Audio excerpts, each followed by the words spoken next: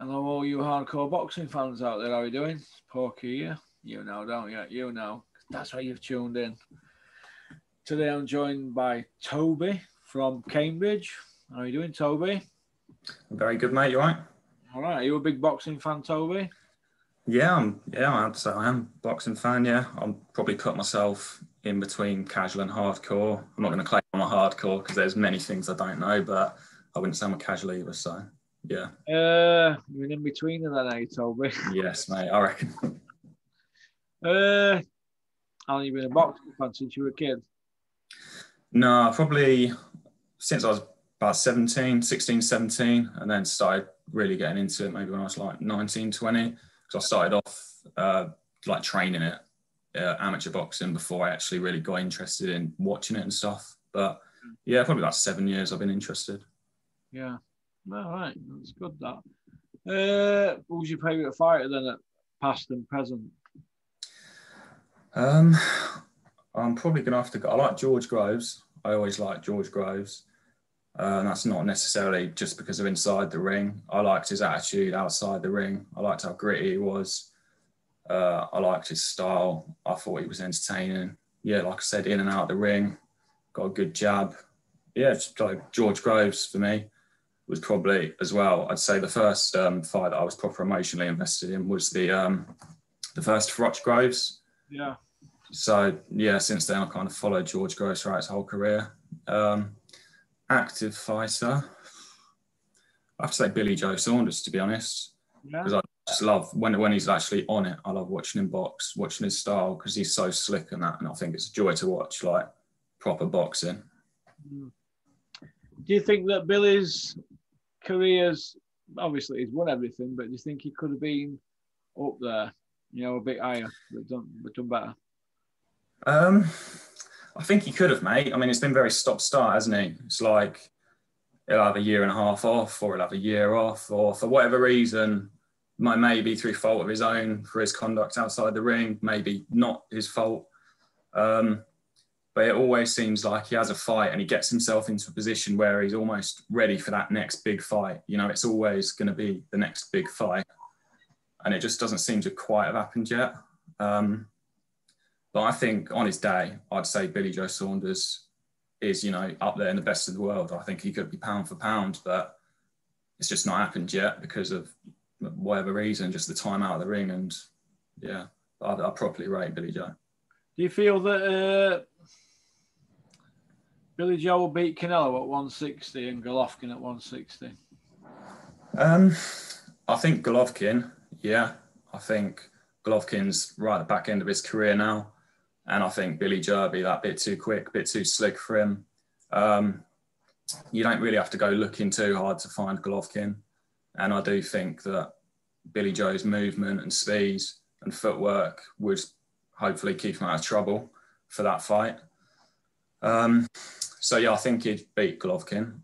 Yeah. Canelo fight is a bit of a tougher ask in my opinion because Canelo is he's elite, isn't he? But if he's going to beat Canelo, then 160 is the way that he's going to do it at. I don't, I don't think he could do it at 168. I think that 160 middleweight is the best for Billy Joe. So I think he's got a chance against Canelo. I'm not going to sit here and say, yeah, he definitely beat him or anything like that. But we've seen Canelo potentially struggle against sort of slick people in the past. Um, and I think, yeah, I think if anyone can do it, then for me, it's Billy Joe. Yeah. Do you feel that? Do you feel that Billy Joe? How can I explain it? You think that Billy Joe's waited for Golovkin to get old? Um, to an extent, but I don't think to this point now. Like I think Billy Joe would have had the fight maybe two years ago, something like that. Because I remember, you know, back when he was facing Chris Eubank, say, you know, when he had his fight with Chris Eubank Jr. At that point, he would he would openly admit, you know, Golovkin is too much for me right now. He's a wrecking ball, um, and he's going to wait for him for a couple more years and pick that fight at the right time. Yeah. I do think that that right time for him could have been a couple of years ago. Like it could have been much sooner than now. So I don't think he's deliberately waited until this point to go into that fight. I think that if the opportunity to have it a couple of years ago or sooner than now would come round, then I think he'd take it, and I'd give him a good chance of winning it as well. So, yeah. Do you think that uh, if Billy Joe fights Caleb him, do you think a case can be a similar case can be made for Tyson Fury because he knocked the Vladimir. Well, the, the fight never happened, did it? For uh, on four separate occasions. Do you think that fighters like to wait for people to get old and then get them at the right time? Do you think it's about timing, or do you think it's just too many cooks spoil the broth, you know, trying to make the fights? What do you think, Toby? Um, I think there needs to be a middle point because if you leave it for too long, then it doesn't lose its credibility. It's always going to be good to have sort of a name on your resume that's that good. But you know, you don't want to wait too long and drag it out for too long because I think that the fight will lose its like lose the appeal. And as well, you know, people can see through that. So if you wait until you find an old man or someone who's clearly past it, then I don't really think that's as good as sort of picking it at the right time for you. So you know, if if you're on your way up and you've got a fighter who's absolutely in their prime and they're taking everyone out, then you can use your head a little bit and think, all right, we'll give them a couple more years and wait till they're on the slide, or you know, wait until they're past that point of your career, or you feel like you've brought your level up to meet them so that you can be in a competitive fight. Yeah. You know, if you if you take a fight too early, then that's going to ruin your career, damage your confidence, and all that. So you, there's a fine line between picking it at the right time and waiting too long and taking it too early. So, yeah, it's important. Yeah. Uh, all right then. I want to talk about PEDs in boxing at the moment. Uh, it's an hot subject. Obviously, obviously Kovalev's just been busted, hasn't he? Yeah. Uh, are you surprised Kovalev got busted? Um, no, I'm not surprised. I'm not. I'm never surprised anymore, to be honest with you, mate, because it happens all the time, doesn't it? People get popped all the time. It'll come through that they've tested uh, positive for what is it, synthetic testosterone with Kovalev, something like that. But yeah, I'm not surprised by it because a lot of them are doing it. And when we find out about it, yeah, it's just like, oh, great, it's another one. So. Do you think nothing? Yeah. Will, do you think nothing will be done until we have a definite ring and the victor of the fight tests positive? For performance enhancing drugs. Do you think then will they act with the murder charge and the the government will come down on them on all this? I think so, mate. I mean, I hope so because obviously we've had deaths in the ring and things like that. Unfortunately, it's never come out that it's been because of substance abuse. But uh, as you say, you know, let's say that somebody, God forbid, did die in the ring and then they came out positive then you, have got to start taking it seriously. And it, it shouldn't even get to that because so often you'll see fighters um, test positive and not enough is done about it. It's sort of, you know, it depends who it is as well.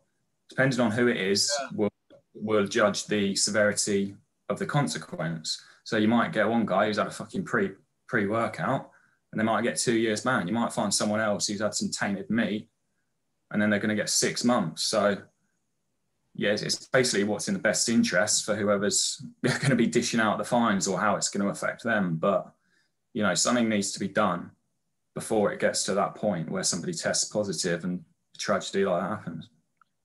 Do you feel that there's a lot of it going on in UK? Yeah, I do. But I, I, not just the UK. I think it's everywhere, but for sure, yeah. Do you think trainers should be punished as well? Um, do I think trainers should be punished? If the fighter fails the test. I know the fighter's responsible for what he puts in his body and the trainer's not with him 24 hours a day, but do you just feel that if they put brought a rule out like that, that the trainer would be banned as well, that the fighter would think, you know what, maybe I shouldn't take this because I'm going to put my trainer out of business and he can't train anybody else. Do you think that that would be a, a good a good system to sort of like you're getting other people to fight bullets, kind of thing, aren't you? Uh, I think if a trainer was responsible for it and they were sort of pushing someone's hand or saying, "I'll take this on the sly," or you know, this will be fine to do, you won't get caught for it or anything like that. But I don't know how you would possibly be able to prove that or how you'd be able to, you know, make them suffer the consequences of it. Because most of the time, when people get done for steroids or performance enhancing drugs, they all come out and say they didn't do it anyway. And it, you know, you, you never know what's happened. So like, Yeah. that, even if they have done it, you can't tell what their motives are for it, let alone if a trainer's been involved in that. So I think whoever is responsible for it and whoever's knowingly allowing it to happen should definitely be held accountable. And if that's the trainer, then yeah, it should be. Like no matter who it is, you should be held accountable because you're the person making that happen. But yeah, how that would happen, I think, would be very hard to uh, hard to do. Yeah. All right then. Uh, what do you think about the situation with Dillian Whyte and Povetkin having a rematch and Natasha Jonas and Harper in their world title? No rematch, but Dillian Whyte's work even the world title. I, I, do you think that seems fair to people like Natasha Jonas? No, I think that Natasha Jonas should have definitely got that rematch. Um, a lot of people had Jonas winning that. I probably had, if I were to score it, I think I scored it a draw. But just to forget scoring, if you to watch that fight, either Jonas has won it or it's a draw. Like I don't, I don't think Terri Harper won that fight, and I so I definitely think that Jonas should get a rematch for that. Um, in terms of the Dillian Whyte one, I guess it was the it was the box office, and Povetkin's obviously signed the clause for the rematch. So if he won that fight like he did, then he's got to do the rematch, doesn't he?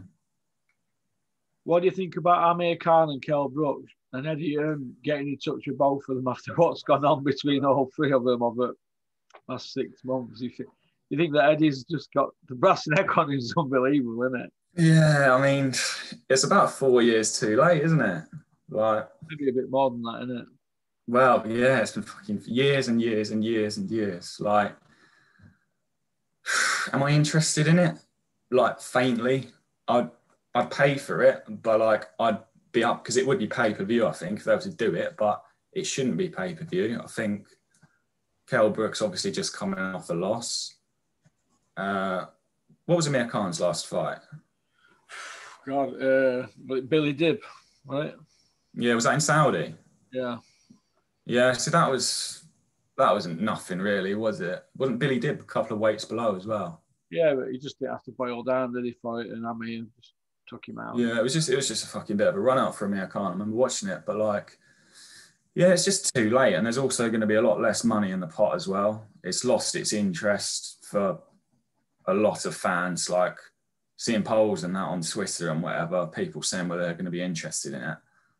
And not really. Like it's just just long gone for me. I like I say, I'd watch it, but I'm not bothered about it. And I think that Brook can't seem to hold his shot anymore. I think he's had his time. So yeah, it'd be a great cash out for him, but they're not the fighters that they were. It, it's it's just intriguing. That's it. That's as far as I can go. Do you, I can explain. Would you put it past Eddie to put it on Tyson Fury, Joshua undercard if they met fight? Chief support. I don't know. He, probably would. Justify, to justify a fifty pound pay per view. Would you put it past it? Saying you're getting two Uh, 50 to one kind of thing. Yeah, it wouldn't surprise me if you put it at fifty pound just for Fury Joshua, to be honest. But like, Hmm. I think if that fight was to happen, they would do a pay per view with Kell Brook and Amir Khan topping it, and maybe just give it a solid undercard. But how well that would do, I don't know. What do you think about uh, Kalle Sauerland coming out and saying that he'd like to make Junior Eubank against Kell Brook or Beefy Smith and people like that? What do you? Uh, Beefy Smith. And Amir Khan, you know, think, no, I don't think he mentioned Amir. I think he mentioned Kellen Beefy, didn't he? Yeah. Yeah, I think it'd be all right. I mean, I definitely don't want to see Eubank against Brook, that's for sure, because I think that that is a very dangerous fight for Brook, and I think he would get ironed out, to be honest with you. And I don't think that Brook can offer anything that's going to bother Eubank, because Eubank's tough and he's got a solid chin. You know, he's been in with super middleweights and he's been hit by them and whatever else. And he's he's not been down officially. It was questionable whether he. Oh, sorry, mate. Sorry, go on now. I was just going to say that um, Eubank's got a really good chin and he's been in with like bigger hitters than Kell Brook would have been. And I can't see him yeah, being fussed about anything that Brook's got to offer. So Eubank's pretty relentless, especially when he gets you going. And if he catches Brook and Brook even shows a little bit of, oh, I didn't fucking like that, then he'll jump on him. And I, I think it'll be four rounds tops. But I just think Eubank could go straight for him, to be honest, mate. Picture this scenario Kell Brook, Eubank, round three. Eubank hits him with a flurry, and Kell, first time he's hit, he turns away. Would the fans feel cheated at that, or would Kell Brook say you were you were cleared to fight? What do you think that could be a possible outcome in that fight? You know, Kell maybe quitting. Um, being no. an eye injury or something. I don't. I don't think Kell could quit. I. I think Brook's a warrior, to be honest. From what I've seen of him, I know he's got some stick before for saying that he quit against Golovkin, but the towel was thrown in, and I do think that he would have carried on going. I think that fight was obviously only going one way, but I do think Brook is gritty, and I think he would keep on going until he couldn't. But yeah, yeah. What did you think about Kell Brook against Crawford? Um, one four seven after everything that they've gone on with the weight and everything that they said. What do you think about that? Yeah, I think that for a start, Kell Brook going down to one four seven is clearly tough on him, uh, and that's been you know they've been saying that it's tough on him for quite some time. So you know if you're going to go up to one five four or whatever weight that you think is going to sit best for you, then you're putting yourself at risk by going down to uh, one four seven just for a big fight because yeah, you're going to get paid well in that, and it's a big fight. But look at what happened. He's like it was it was a clean shot, wasn't it? It was a sort of hook jab. Like, you know, it wasn't even his. Um, was it from southpaw position, front hand in southpaw position? What wrestled him? Yeah, I think so. Yeah, he he, he, had a more to his locker, didn't he, Crawford? Didn't he? You know, he was yeah. first. It weren't working. He just changed it up, didn't he? Yeah, I see it. So he changed it over and then caught him, and then Brooks. It was, it was all over the place, wasn't he? So, would you say he quit in that fight, Kell Brook? Um, no, I don't think he quit. I think. I mean, he was on the ropes and he was taking the bangs, wasn't he? Was he waiting for the ref to jump in? I don't know, but the ref did jump in. But I think he got hit with that shot and he it kind of rocked him and he didn't want to know after that. And whether that's because his chin's gone after the Golovkin and Spence, or he hasn't got confidence, or whether it's because he was dehydrated and he's no good at, well, not no good at 147, but you know what I mean? He's had to boil down to the weight. So his um, punch resistance has gone.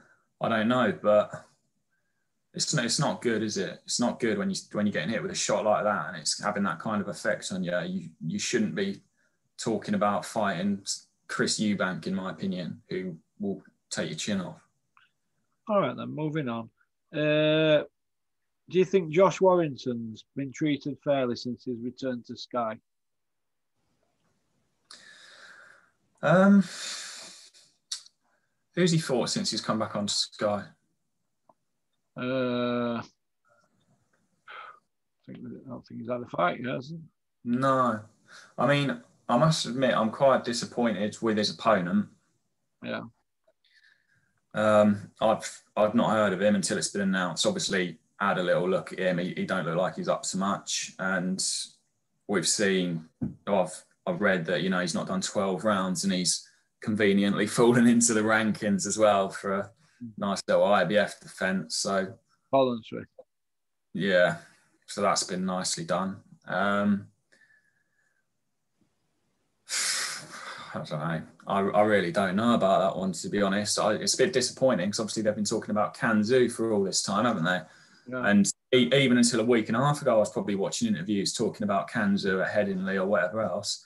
And now this announcement's come around and we've got this. So it's like, yeah, it's just a bit disappointing when I saw that. Like I'm not, I'm not asked. I think Josh Warrington's brilliant, and I love watching him fight. And he's, I love his work rate. I think he's great, but this fight doesn't excite me at all, and I expect Warrington will just go through him. Yeah, do you think Josh Warrington's overachieved in his career? Um, Overachieved. I don't want to say he's overachieved because he obviously puts the work in, doesn't he? He's, he's incredibly fit and he works incredibly hard. So I think maybe to say he's overachieved isn't actually fair. But in, in terms of his ability, I wouldn't say he's the best boxer in the world, but he's got really good hand speed. His, his fitness is great and he just wears you down over time and he'll have it with you. So, yeah, I rate him. Yeah. Do you think Tyson Fury and Joshua will fight this year? Yes or no? Yeah, I do think they will. No. Why is that? Because I think it's it's gone too big and it's been spoken about too much. And you, there's interviews coming out from Bob Arum and Eddie Hearn. They're saying, "Oh, it's ninety percent there." They're talking about potential venues, all of that. Um, what what fight can either of them do to get away with not having that fight? Like it, it would be embarrassing. Can't fight anybody now because the public could turn them. They've gone too far with it, haven't they? Yeah, that's that's it. Like if if it doesn't happen at this point, then the public will. You know what? We've invested that much in you, and you're just dragging it out. I think they'll they'll turn on them. We're going to see it. Yeah. And you know what?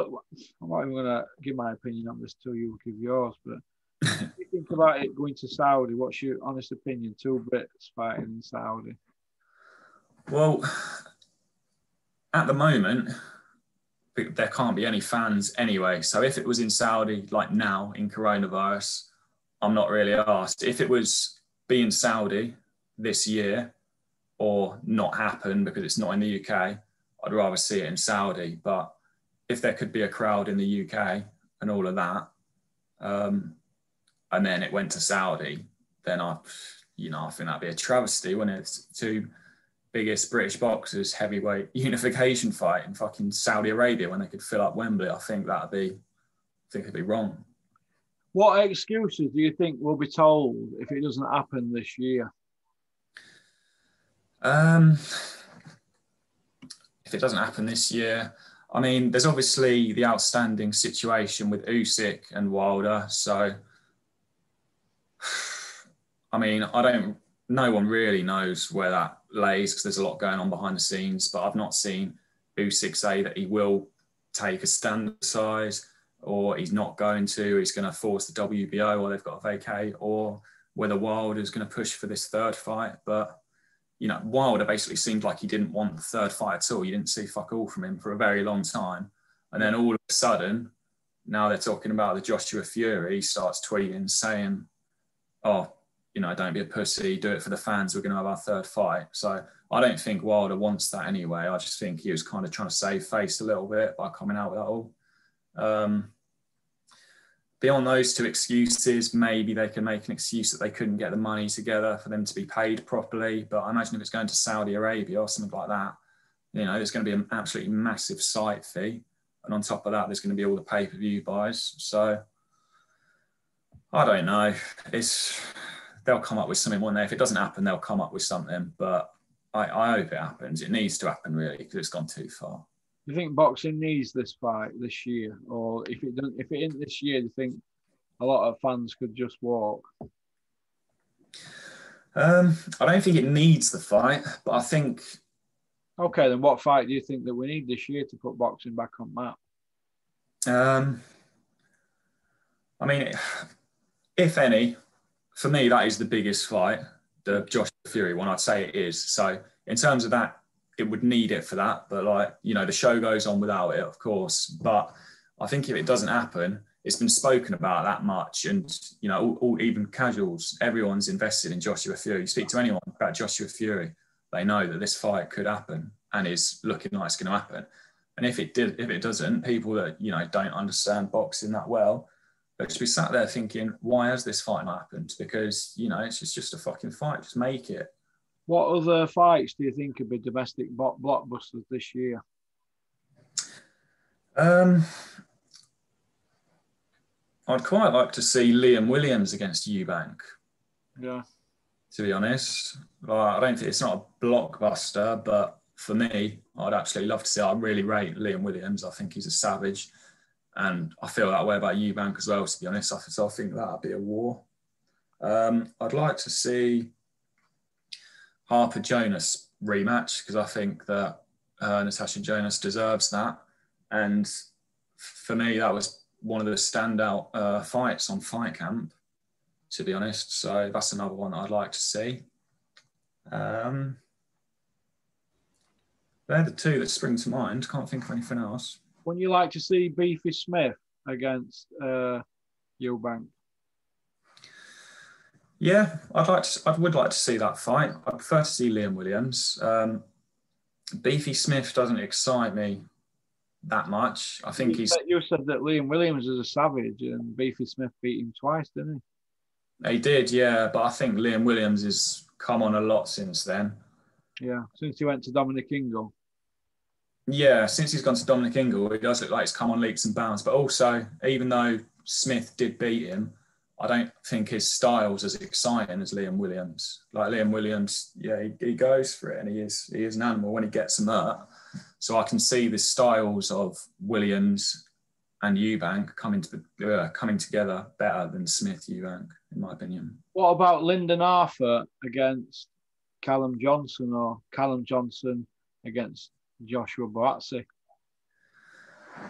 Um, which one should we talk about first? So Johnson Buatsi, I think.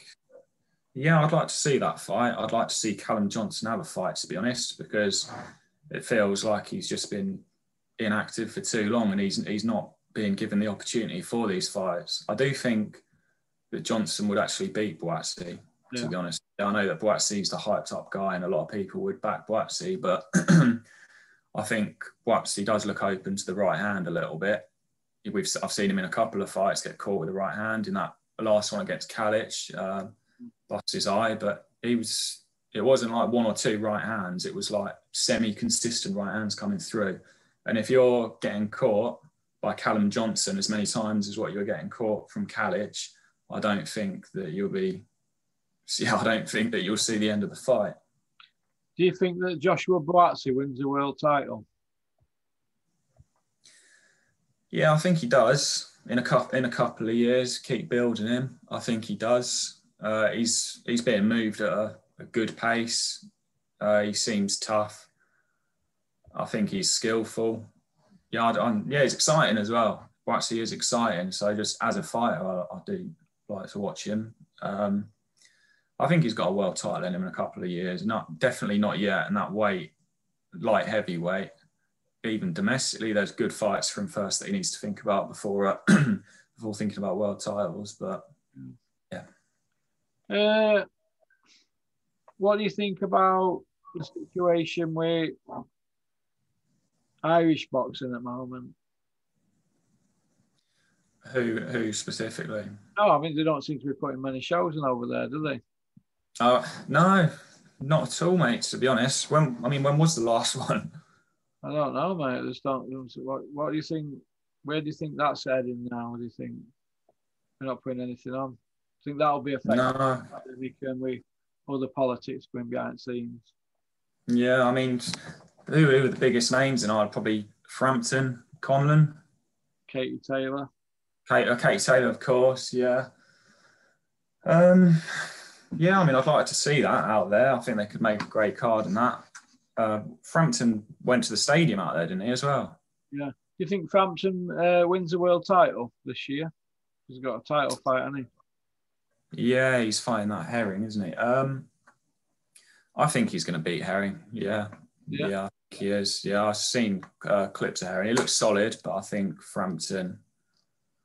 I do think Frampton's definitely getting on a bit, but I think he's. I think he's got another world title in him. Yeah.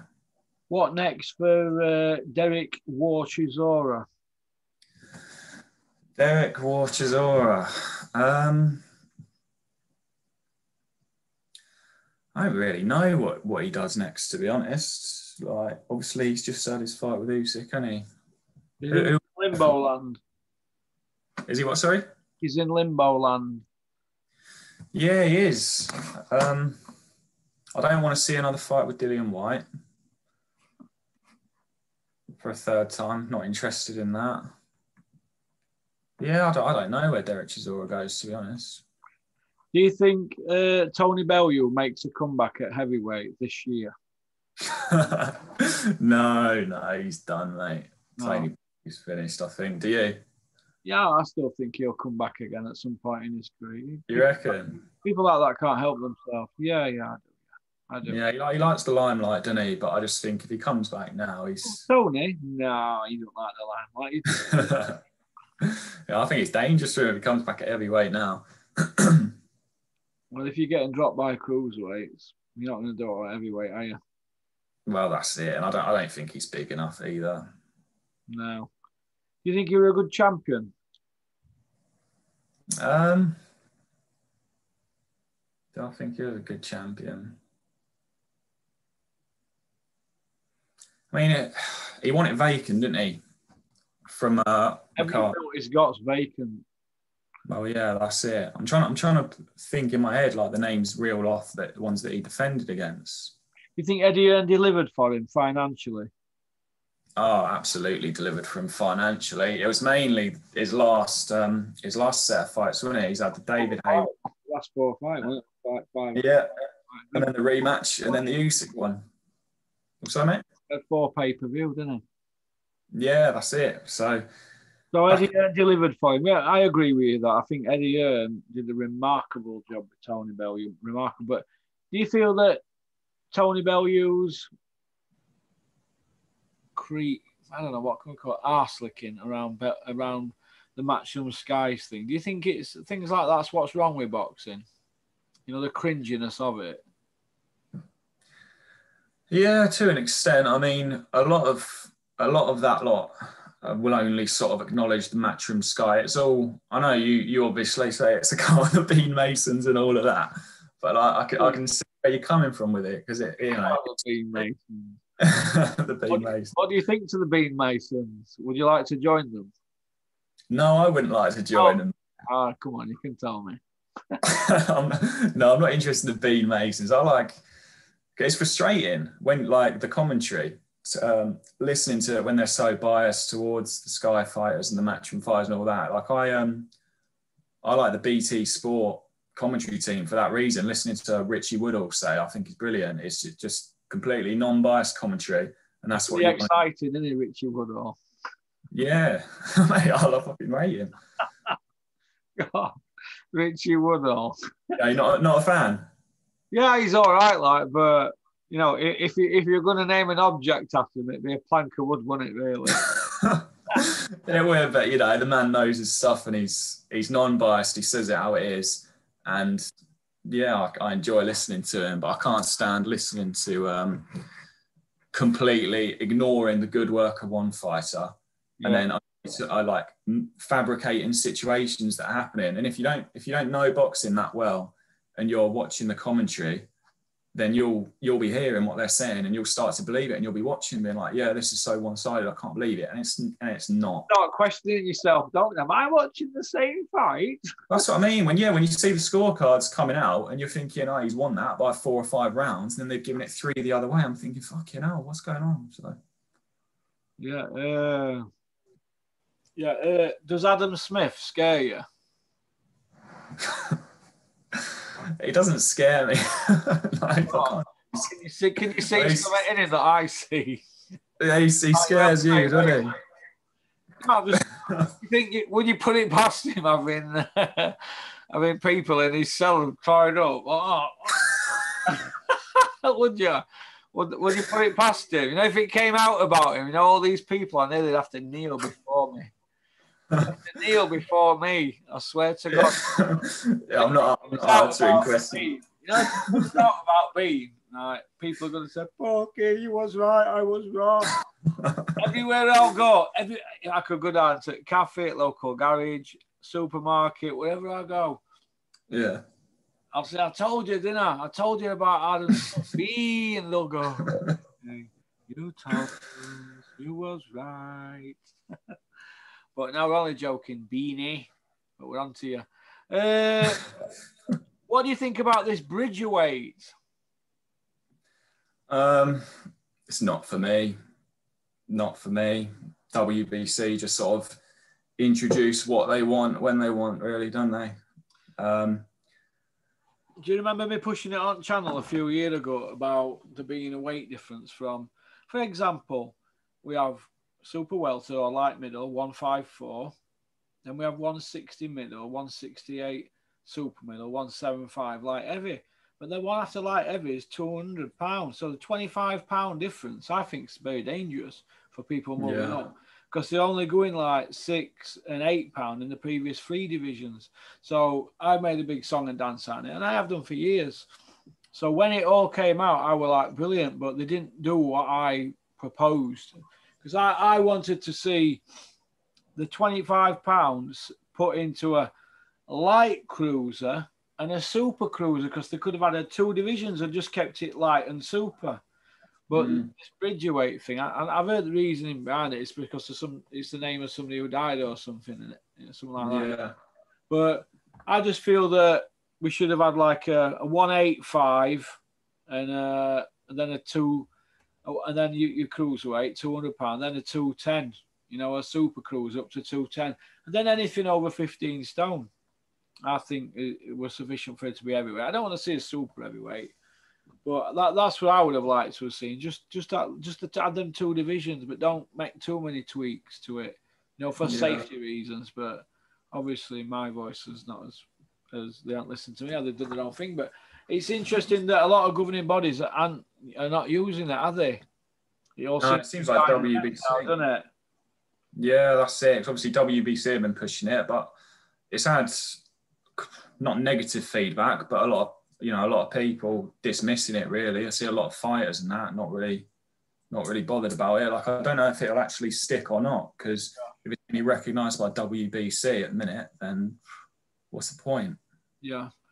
Uh, what do you think about YouTube channels in general? Do you think that there's there's favourites with certain platforms? They have the favourites, and do you think that these people who've got access, do you think they're asking the right questions? Well, there's definitely favourites. Definitely favourites. Um, are they asking the right questions? I think from their perspective, obviously they've got to be careful about not to piss off the wrong person, haven't they? Because if they do that, then they'll lose their access. So, like, from a fan's perspective, I can see why we, you know, want them to go in on them more and ask them more yeah. like more direct questions and that. But at the same time, if you go too far with it, because I know I've seen you talk about um, Rob, you know, Rob Tebbutt when he was pushing yeah. Smith and Hearn on that. When he was then, Um, pushing Adam Smith and Eddie. Rob Tebbutt, didn't he? Yeah, I thought, he, I thought he did all right in that interview. But I thought when he had Smith on rack, I thought he let him off. Yeah, like he he went on. The thing is, Adam Smith's quite a frustrating interview because he kind he just reiterates what he says, and he talk he talks so much around the question that you don't really get a straight answer a lot of the time. And it got to a point in that interview where they were just going back and forth and back and forth, and I was just thinking, I've, I've heard the same thing now three or four times in different words. So like, like you're saying, he had him there, but he didn't. Why didn't he say to him, uh, Adam? I think you're dodging the question are you going to deliver these fights because the product's watered down? Look what we've had in previous years. Ute, Froch Andre Ward, non-pay-per-view. And look what we've got now, Ted Cheeseman and Sam Eggington non-pay-per-view. But if you go on and go even further than that, you've got Dillian Whyte against Povetkin as pay-per-view, but the others couldn't have it. And I just think that well, the statistics prove it. The quality is it's been watered down over the last five, six years, I think. See, I think it's been watered down since Froch Groves and maybe Vladimir against Joshua, but they keep saying that's a great fight, and I do as well. But when you look at it, it was a man in his 42nd year, wasn't it? Yeah. Coming back to win his belts, and it was sold as this super fight, and it nearly it was a good fight. So they got that right, but is that going to be it for what they're giving us? Is that the, what is the benchmark? This is where I, I uh, get unhappy about it. I don't. That's just my opinion, but all right then. Uh, do you think that the dates are getting shared out amongst all fighters in the UK correctly? Um, No, I mean there's there's it's the same ones getting on, isn't it? It's Yeah. the same ones getting on, and you see Eddie Hearn justify it. They'll say, if I give them an opportunity, and they say no, then I'll move on, and that's it. And he's got fighters that he's contracted to get and stuff like that, Yeah. uh, which I understand. But yeah, it's it's the same ones over and over again. So I'd like to see. Like Joe Gallagher's stable, they're they're not too active at the minute, are they? So I'd like to see them come about more. And obviously, the small hall shows aren't going on either. So there's there's a lot of fighters stuck at home twiddling their thumbs. What do you think about these YouTubers coming into boxing and earning millions of pounds while other kids who who are coming up laddered and never probably going to get to that status and they've put the time in? Do you agree with that? Uh, And if not, who's at fault? Is it the TV companies or the promoters? I don't disagree with it because I think they've worked hard to build up their platform Yeah. on YouTube and whatever else. They've got a following, so whatever they do, there's always going to be fans what you know what tune in to see it. So if they want, if they want to have a go at boxing, then in my opinion, they can do that. But I don't think you should market it as if they're fighters because we all know what they are. They're two fucking YouTubers who've got a pro license. Yeah. Uh, and also, you need to be careful with the matchmaking because if you start putting a YouTuber in with someone who's experienced, or for example, that Jake Paul fought against um, that Nate Robinson and he'd never had a boxing match and it showed and he got knocked out cold. Mm. So it's fine for entertainment if you market it for what it is and you know what it is and it's competitive. But the second it starts getting like, um, you know, dodgy, dodgy matchmaking that, people start getting hurt. So you've got to be careful with it. What do you think about people coming into the sport in these advisory roles and they've not got a board license and promising kids earth and not delivering and things like that and holding them to the contracts and stuff like that? Do you think that that's wrong in sport and that there should just be a, a trainer, manager, a trainer and uh, uh, who manages and does everything, everything from nutrition, strength conditioning, picking fights a lot. Do you think there should just be a boxer and trainer and that should just be the relationship? Uh, I think that advisory deals, managers, whatever else, I don't, I don't think it's necessarily a, a bad thing. Apart from when you know it's getting ridiculous and you got 15 people in your entourage or whatever. And as long as the people that you're employing have the credentials to do it, then I think that's fine. But if you get someone come in who you know who don't know it, um, doesn't know the business, or they come in and they start promising this and promising that, and then take in 10% of your wages and they're not delivering on what they're saying, then that's where I think it's going wrong. Yeah. Do you think that uh, Mickey Theo and John Fury will ever fight? Um,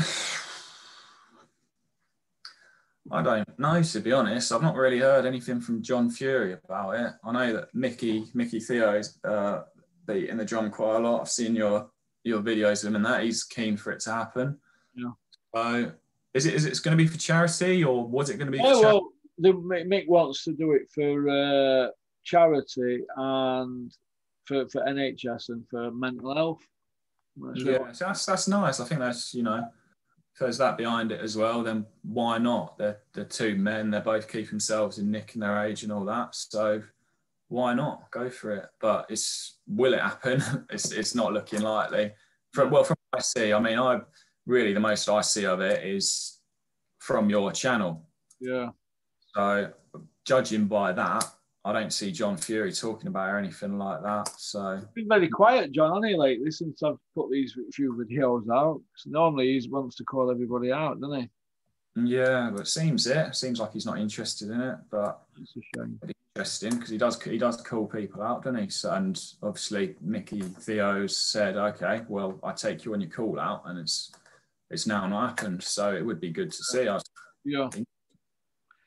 Yeah, all right. Well, we wish them both well. Well, all right then, Toby. It's been fantastic to have you on. You've been a uh, a good a good addition to the Porkies uh, channel. yeah, thank you for having me, mate. And uh, I wish you all the best. And I'd like to have you again if that's all right. Yeah, nice one. All right, thanks a lot for having me on, mate. It's good to meet you. Cheers, Nice Toby. one. See you later, mate. Cheers.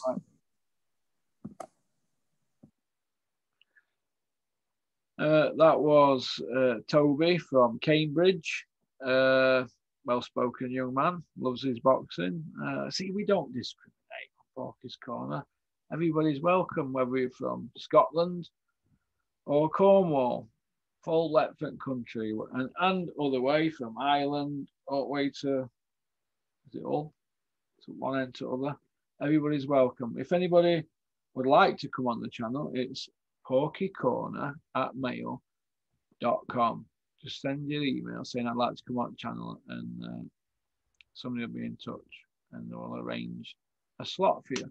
All right, we like to get different people on from all walks of life. Everybody's welcome. All right, so that's about it. I think that's evening over. I'm shattered today. Long day, so all right.